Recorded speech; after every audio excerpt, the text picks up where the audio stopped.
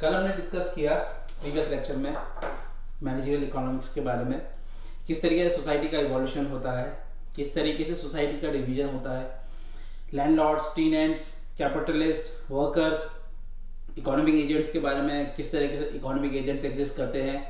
तीन economic agents समझे कल हमने, जिनको हमने कहा households firms and governments household वो, जैसे कि हम फर्म्स वो जहाँ पे प्रोडक्शन किया जा रहा है और गवर्नमेंट द थर्ड पार्टी जिसके इंटरवेंशन से इकोनॉमी में अलग अलग तरह के इफेक्ट्स आ रहे हैं।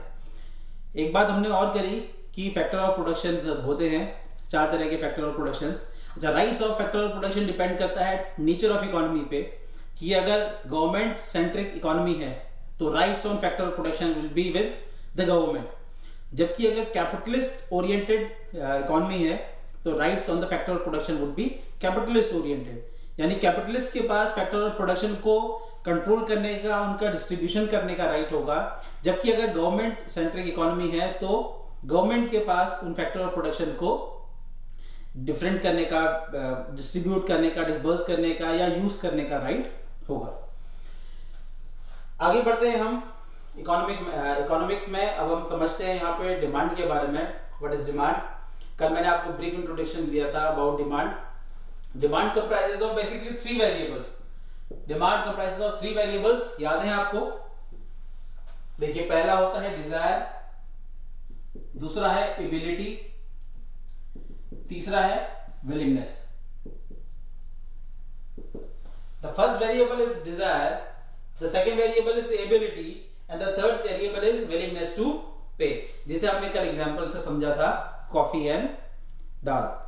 हम दाल खरीदेंगे या कॉफ़ी पिएँगे ये हम पे डिपेंड करेगा। ये हमारी डिज़ायर पे डिपेंड करेगा, हमारी एबिलिटी पे डिपेंड करेगा, लेकिन फाइनली ये हमारी विलिंगनेस पे डिपेंड करेगा कि जो हमारे पास एग्जिस्टिंग रिसोर्स है, उस रिसोर्स को हम ए वेरिएबल पे एक्सपेंड स्पेंड कर रहे हैं या बी वेरिएबल पे स्पेंड कर रहे हैं। Now see whenever we have n number of alternatives and we choose the best one, हमारी समझ में जो हमारे लिए सबसे बेस्ट ऑल्टरनेटिव है, जब हम उसे चूज़ कर लेते हैं और हम बाकी एन नंबर ऑफ़ वेरिएबल्स को या एन नंबर ऑफ़ ऑप्शंस को गिव अप कर देते हैं।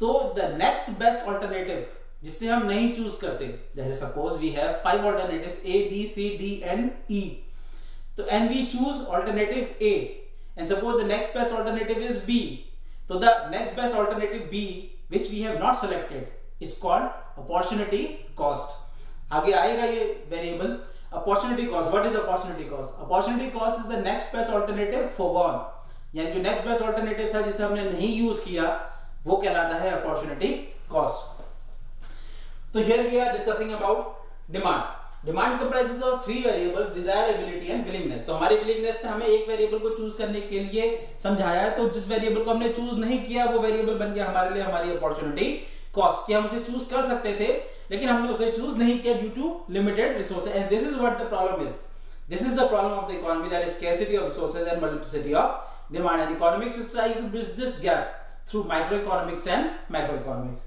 now dealing dealing in detail with the demand demand comprise of desire ability and willingness to pay आज का लेक्चर हमारा डिपेंड करेगा डिस्कस करेगा डिमांड के बारे में डिमांड फ़ंक्शन के बारे में demand curve along demand curve shift of the demand curve and law of demand now starting with demand demand comprises of desire ability and willingness तो व्हाट एक्चुअली डिमांड इज़ क्या होती है किसी product की demand हम किसी product को कितना मांग रहे हैं, ये कहलाती है उसकी डिमांड लेकिन क्या सिर्फ़ हमारी मांग से ही सब कुछ पूरा हो जाता है? नहीं. First economic agent is household and household comprises of an number of individuals it means that in the economy there are individual demand and a total demand the total demand is called aggregate demand यानी कि economy में individual demand भी है, जैसे मेरी demand है, जैसे आपकी डिमांड है, ऐसी हमारे जैसे बहुत सारे लोगों की बहुत सारी अलग अलग डिमांड्स है। तो these all demands are called as individual demand whereas जब हमने सब की डिमांड को यूनाइट कर दिया मेरी डिमांड को, आपकी डिमांड को और हमारे जैसे बहुत सारे लोगों की डिमांड को जब हम प्लस कर देंगे तो उस डिमांड को कहेंगे हम aggregate demand of the economy of individual economic agent यानी हाउस होल्ड सिर्फ़ हाउस होल्ड की एग्रीगेट डिमांड कहलाएगी एग्रीगेट डिमांड तो डिमांड की बात कर रहे हैं तो डिमांड किन किन वेरिएबल्स पर डिपेंड करेगा? एक चीज़ तो हमें बहुत क्लियरली समझ में आती है कि डिमांड और प्राइस का एक रिलेशनशिप है। कि अगर कोई भी प्रोडक्ट महँगा होता जाएगा तो उस प्रोडक्ट की डिमांड कम होती चली जाएगी। और अगर प्रोडक्ट सस्ता होता चला जाएगा तो उस प्रोडक्ट की डिमांड बढ़ती चली जाएगी। यानी कि there inverse relationship between the demand and price किस तरीके से? मैं अभी एक मिनट में समझाता हूँ आपको। पहले डिमांड फ़ंक्शन के बारे में हम बात करते हैं। What is a demand function demand function किन किन वेरिएबल से बनता है? तो किसी एक पर्टिकुलर प्रोडक्ट के लिए किसी एक पर्टिकुलर प्रोडक्ट की डिमांड के लिए। अगर हम डिमांड फ़ंक्शन के बारे में बात करते हैं तो सबसे पहले उस प्रोडक्ट का डिमांड डिपेंड करता है उस पर्टिकुलर प्रोडक्ट की प्राइस पर। जैसा अभी कहा कि अगर प्रोडक्ट की प्राइस कम होगी तो प्रोडक्ट की क्वांटिटी डिमांडेड बढ़ जाएगी। और अगर प्रोडक्ट की प्राइस बढ़ेगी तो प्रोडक्ट की क्वांटिटी डिमांडेड कम होती चली जाएगी। ये तो बहुत ही क्लियर तरीके से हम सभी लोग समझते भी हैं और इसको महसूस भी करते हैं। लेकिन क्या सिर्फ़ प्रोडक्ट की डिमांड उसकी उसकी अपनी ही प्राइस पे डिपेंड करती है।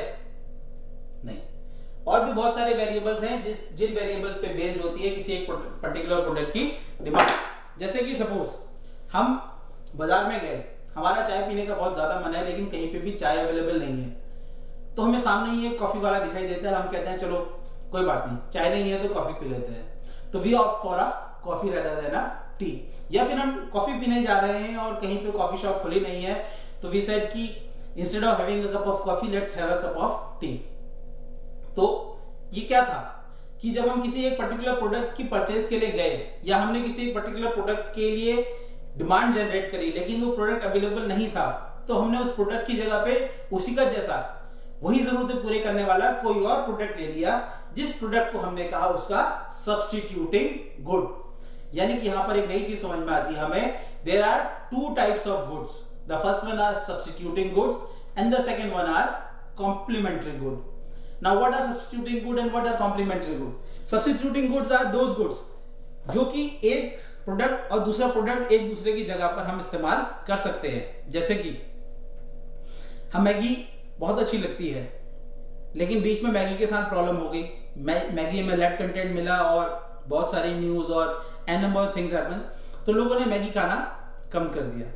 तो उसी समय yippee ने अपनी एडवर्टाइजिंग को चेंज किया और yippee ने कहा एडवर्टाइज किया with a mother and child कि बच्चा बच्चा जानता है और अब मम्मी भी ये मानती है कि yippee ही है बच्चों की फ़र्स्ट चॉइस तो नाउ कस्टमर है started shifting from Maggi to yippee क्यों? क्योंकि मैगी वो ले नहीं सकते, क्योंकि मैगी के साथ तो प्रॉब्लम चल रहा है ना। लेकिन बच्चों को नूडल्स तो खाना है। तो नूडल्स खाना है तो उन्होंने उसके लिए ऑल्टरनेटिव प्रोवाइड कर दिया दैट इज़ येपी तो बच्चों ने मैगी छोड़ करके ये खाना शुरू किया। फिर बाबा रामदेव आए। उन्होंने कहा कि, मैदा क्यों खाते हो? आटा खाओ। तो उन्होंने आटा नूडल्स निकाले। तो इस तरीके से कुछ लोगों ने आटा नूडल्स की तरफ़ शिफ्ट करना शुरू किया। तो ये सब प्रोडक्ट्स क्या हैं? ये सब एक दूसरे के सब्सटीट्यूटिंग गुड हैं। अब अगर हमें नूडल्स खाने का ही मन है और बाज़ार में ये अवेलेबल नहीं है या मैगी अवेलेबल नहीं है या पतंजलि आटा नूडल अवेलेबल नहीं है या कोई और नूडल अवेलेबल नहीं है तो हमें जो भी अवेलेबल होगा हम उसे ले लेंगे। क्योंकि this is a substituting good तो इसका मतलब किसी एक पर्टिकुलर प्रोडक्ट की प्राइस सॉरी किसी एक पर्टिकुलर प्रोडक्ट की डिमांड उस प्रोडक्ट के सब्सिट्यूटिंग प्रोडक्ट की प्राइस पे भी डिपेंड करती है। फॉर एग्ज़ाम्पल अगर मैगी और ईपी दोनों ही सेम क्वांटिटी पर अवेलेबल है सेम प्राइस में तो कंज्यूमर कोई भी चूज़ कर सकता है। बशर्ते कि उसका टेस्ट एंड प्रेफरेंस यहाँ पे आड़े नहीं आ रहा है। अगर उसका टेस्ट एंड प्रेफरेंस आड़े नहीं आ रहा है और दोनों की प्राइस और क्वांटिटी बराबर है तो कंज्यूमर ये पे भी ले सकता है और मैगी भी ले सकता है। लेकिन अगर सेम प्राइस पे particular product A suppose yippee की क्वांटिटी 80 ग्राम है और मैगी की क्वांटिटी 70 ग्राम है, और कस्टमर टेस्ट एंड प्रेफरेंस से इफ़ेक्ट नहीं हो रहा है एडवर्टाइजिंग से भी इफ़ेक्ट नहीं हो रहा है तो रैशनैलिटी पे कंज्यूमर दस रुपए में 80 ग्राम की प्रोडक्ट को प्रेफर करेगा और उस प्रोडक्ट को कंज्यूम कर लेगा। यानी कि रिलेटिव प्राइस ज़्यादा किसकी है? मैगी की। और यूपी की रिलेटिव प्राइस कम है। It means that the price of a substituting good plays a very important role in the demand of a particular product. So, the next factor that affect the demand of a product is price of substituting good. तो अब क्या सिर्फ़ substituting goods की वजह से फ़र्क पड़ता है? नहीं। एक गुड्स और है जिसका नाम हमने कहा अभी, जिसको हम कहते हैं कॉम्प्लीमेंट्री गुड्स ना what are complementary goods complementary goods are those goods जो कि एक दूसरे के साथ साथ चलती हैं। जैसे, जब चाय बनाई जाती है तो चाय बनाते वक्त चाय में चाय पत्ती और चीनी दोनों पड़ती हैं। चाय पत्ती, चीनी, दूध तीन चीज़ों से मिलकर के बनती है चाय। अगर इन तीनों चीज़ों में से किसी एक भी पर्टिकुलर प्रोडक्ट की प्राइस में वेरिएशन आता है सपोज़ चीनी महँगी हो गई, चालीस रुपए किलो से चीनी बढ़ करके हो गई, अस्सी रुपए किलो तो चीनी का कंजम्पशन अब कम हो जाएगा।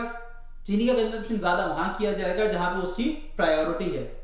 जैसे कि घर में अगर सिर्फ़ एक ही ग्लास दूध अवेलेबल है और घर में एक बुज़ुर्ग है, एक जवान है, व्यस्क और एक बच्चा है तो वो एक ग्लास दूध इन तीनों में से किसे दिया जाएगा? ये वो फैमिली डिसाइड करेगी। लेकिन वो फैमिली उस दूध को या तो पहले बुज़ुर्गों को देगी या फिर पहले बच्चे को देगी और व्यस्क का नंबर तीसरा आएगा। तो this is how we prioritise the things इसी तरीके से जब भी किसी प्रोडक्ट का कंजम्पशन हम करते हैं तो उसके कंजम्पशन को भी हम प्रायोरिटाइज करते हैं।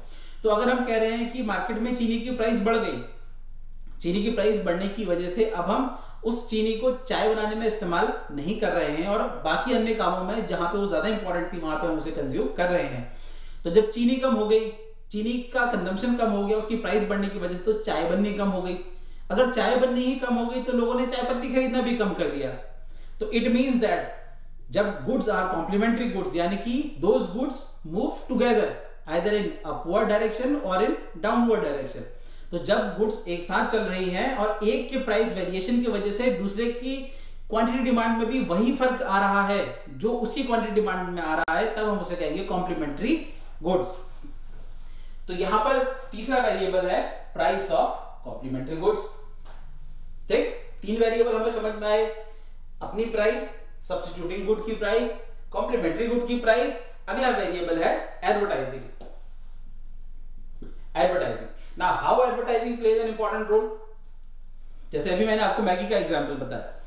फिर मैगी का कंजम्पशन कम हो गया, yippee का कंजम्पशन yippee और बाकी नूडल्स का कंजम्पशन बढ़ गया। कुछ समय बाद मैगी को क्लीन चिट मिल गई। अब मैगी को क्लीन चिट मिल गई, लेकिन मैगी के कंज्यूमर्स मैगी के डिमांड करने वाले मैगी के कस्टमर्स कम हो गए। अब उन कस्टमर्स को वापस लाना था। तो मैगी ने अपने प्रोडक्ट की रीपोजिशनिंग करी अपने कंज्यूमर्स के दिमाग में और उन्होंने एक नया एडवर्टीजमेंट बनाया। उस एडवर्टीजमेंट में एक लेडी कहती है कि जब मैं छोटी थी, मेरी माँ मुझे मैगी खिलाती थी और आज मैं अपनी बच्ची को मैगी खिलाती हूँ। तो जब मेरी माँ गलत नहीं थी तो मैं गलत कैसे हो सकती हूँ? इसका मतलब है कि मैगी तब भी सही थी, मैगी आज भी सही है और मैगी आने वाले समय में भी सही रहेगी। तो this is what this is advertising of a particular product they are repositioning the product into the into the mind of the customer और द कंज्यूमर ताकि लोग उस प्रोडक्ट की तरफ़ दोबारा से मूव करें। तो जब जब लोगों के सेंटिमेंट्स हिट हुए तो लोग, कई लोग वापस लौट करके मैगी के पास गए। तो this is how advertising affects the demand of a particular product तो the fourth variable is advertising ये चार वेरिएबल तो वो वेरिएबल है जिनका इफ़ेक्ट सीधे सीधे समझ में आता है। लेकिन एक पांचवा वेरिएबल है, जिस वेरिएबल के इफ़ेक्ट को कोई नहीं समझ सकता, जिसको हम कहते हैं taste and preferences taste and preferences for example हम किसी ब्रांड के साथ कमिटेड हैं। हम तो सिर्फ़ नाइकी के ही जूते पहनते हैं, या फिर किसी एक पर्टिकुलर ब्रांड का ही परफ्यूम यूज़ करते हैं, या फिर हम तो सिर्फ़ एक पर्टिकुलर ब्रांड की ही जीन्स या शर्ट पहनते हैं या फिर हम तो सिर्फ़ एप्पल का फ़ोन रखते हैं, या फिर हम सिर्फ़ मैकबुक रखते हैं, या फिर हम सिर्फ़ बीएमडब्ल्यू में या ऑडी में ही घूमते हैं। This is what this is a brand commitment तो ब्रांड कमिटमेंट या फिर टेस्ट एंड प्रेफरेंसेस आजकल तो ये वाला फ़ैशन चल रहा है तो हम सिर्फ़ यही वाले फ़ैशन के कपड़े लेते हैं, या यही वाला फ़ैशन चल रहा है तो ये वाले शूज़ लेते हैं। इस फ़ोन का फ़ैशन है तो ये वाला फ़ोन खरीदते हैं, या टैबलेट का फ़ैशन है तो टैबलेट खरीदते हैं। तो this variable is independent of all the variables taste and preferences तो टेस्ट एंड प्रेफरेंसेस की वजह से क्या होता है कि कोई भी एक कस्टमर किसी एक पर्टिकुलर प्रोडक्ट की डिमांड जनरेट करता है, उसे बाकी वेरिएबल से कोई फ़र्क नहीं पड़ता। जैसे इफ़ अ कस्टमर सेज कि I want to buy a iPhone तो उसे सिर्फ़ आईफोन खरीदना है। फिर उसे फ़र्क नहीं पड़ता कि उस प्रोडक्ट की अपनी प्राइस कितनी है, उस प्रोडक्ट के सब्सटीट्यूटिंग गुड्स मार्केट में अवेलेबल है या नहीं है, क्या वो कॉम्प्लीमेंट्री गुड है या नहीं है प्रोडक्ट की एडवर्टाइजिंग हो रही है या नहीं हो रही है, प्रोडक्ट का सर्विस सेंटर अवेलेबल है या नहीं है, इन सारी चीज़ों से उसे कोई फ़र्क नहीं पड़ता, उसे सिर्फ़ फ़र्क पड़ता है अपने टेस्ट एंड अपने प्रेफरेंसेस से। तो यानी कि this variable also plays an important role in the demand of a particular product. And this is how the demand function of a particular product comprises of इसके अलावा और भी वेरिएबल्स हैं। आप बुक में देखिए, आपको हेल्प मिलेगी। कोई डाउट हो, कोई चीज़ आपको पूछनी हो मुझसे तो आप नीचे चैट बॉक्स में या रिव्यू में आप पूछ सकते हैं क्वेश्चन क्वेश्चन रिलेटेड होना चाहिए। इसी टॉपिक से जो टॉपिक मैं आपके साथ डिस्कस कर रहा हूँ I try to answer answer those questions तो इस तरीके से ये डिमांड फ़ंक्शन है। आगे we'll be discussing about all these variables thank you